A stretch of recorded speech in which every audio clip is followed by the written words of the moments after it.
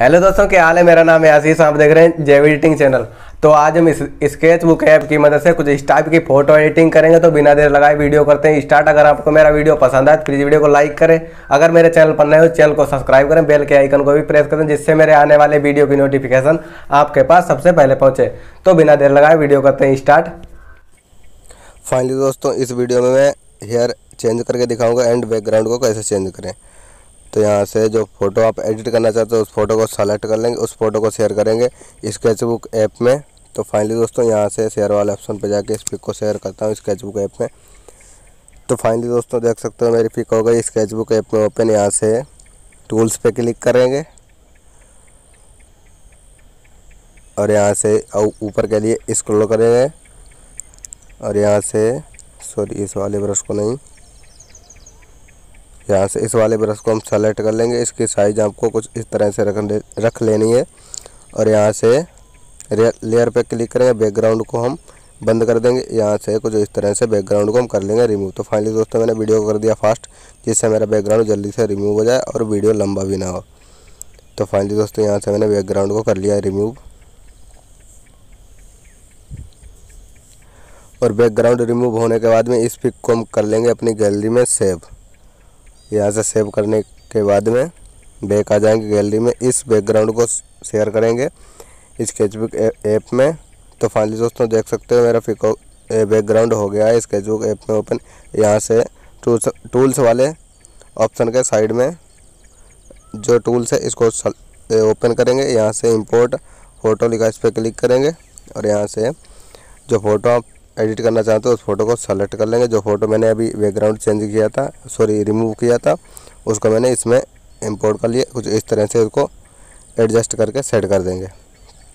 तो फाइनली दोस्तों, इतना करने के बाद में यहाँ से कर देंगे डन और यहाँ से जो बैकग्राउंड मैंने रिमूव किया था, जो पार्ट मेरा रह गया था, इसको रिमूव करने के लिए टूल्स पे क्लिक करेंगे।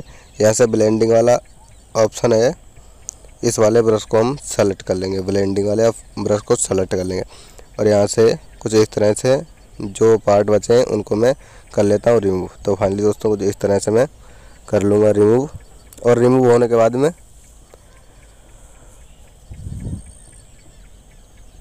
फिर टूल्स पे क्लिक करेंगे और यहाँ से टूल्स पे क्लिक करने के बाद में जो हेयर स्टाइल है, इसको चेंज करने के लिए हेयर का कलर कैसे चेंज करें वाइट हेयर कैसे करें?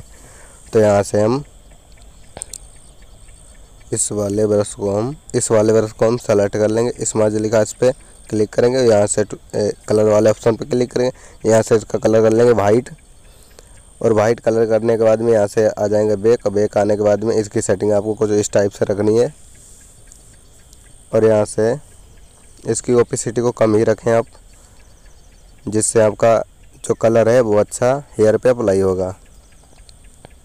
तो फाइनली दोस्तों यहाँ सॉरी यहाँ से हम इसकी थोड़ी ओपिसिटी को कर लेता हूँ कम। और यहाँ से ओपिसिटी को कम करने के बाद में यहाँ से कुछ इस तरह से हम कर देंगे अप्लाई अपने हेयर पे इस कलर को वाइट वाले। और यहाँ से इस तरह से अप्लाई होने के बाद में अप्लाई होने के बाद में यहाँ से टूल्स पे क्लिक करेंगे। और यहाँ से इस वाले ब्रश को हम कर लेंगे सेलेक्ट और यहाँ से जो हेयर हैं, इनको हम कर लेंगे इस तरह से सेट तो फाइनली दोस्तों देख सकते हो इजी स्टेप हैं, जिससे आप हेयर को वाइट कर सकते हो, कुछ ही स्टेप फॉलो करके।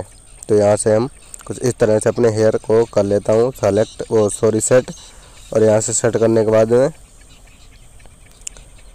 कुछ इस तरह से मैं कर लेता हूँ सेट और सेट करने के बाद में यहाँ से इस पिक को हम कर देंगे डन तो यहाँ से मेरे जो हेयर हैं, वो हो गए हैं सेट और सेट होने के बाद में इस पिक को हम कर लेंगे। सॉरी इस पिक को हम शेयर करेंगे लाइट रूम ऐप में। तो फाइनली दोस्तों, यहाँ से शेयर वाले ऑप्शन पर क्लिक करते हैं और यहाँ से इस पिक को कर लेता हूँ लाइट रूम ऐप में ओपन तो यहाँ से देख सकते हो जो इस तरह से मेरी पिक है, वो लाइट रूम ऐप में ऐड हो गई है और यहाँ से लाइट रूम ऐप को ओपन करेंगे और यहाँ से जो पिक है, इसमें थोड़ी कलर ग्रेडिंग करेंगे। तो यहाँ लाइट पे क्लिक करेंगे, यहाँ से कॉन्ट्रास्ट को बढ़ा देंगे हाईलाइट को भी थोड़ा बढ़ा लेंगे साइडों को थोड़ा बढ़ा लेंगे। वाइट को भी थोड़ा बढ़ा लेंगे। और यहाँ से कलर पर क्लिक करेंगे मिक्स वाले ऑप्शन पे आएँगे, यहाँ से सेचुएसन को बढ़ा देंगे। और यहाँ से सेचुएसन को डाउन कर देंगे लुमिनोज को बढ़ा देंगे थोड़ा सा, जिससे मेरा फेस है वो गोरा हो जाए।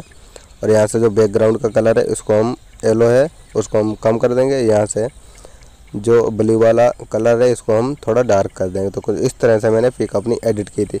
तो अगर आपको मेरी एडिटिंग अच्छी लगी वीडियो पसंद आए प्लीज़ वीडियो को लाइक करें और ऐसे ही इंटरेस्टिंग वीडियो देखने के लिए मेरे चैनल को सब्सक्राइब करें तो मिलते